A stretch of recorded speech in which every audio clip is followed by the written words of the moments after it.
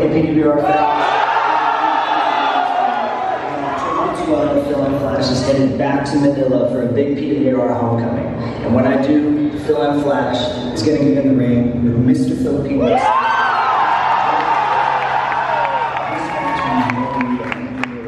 Everything that I've ever done, WWE, New Japan, Ring of Honor, Impact Wrestling, Mexico, Japan, Europe, anything I've ever done has all led me to this point because I've been building this bridge for 20 years, man. 20 years I've been building this bridge and it's finally going to connect.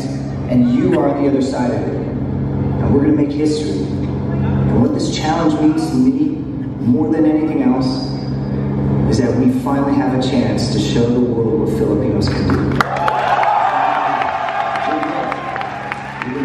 And so will I.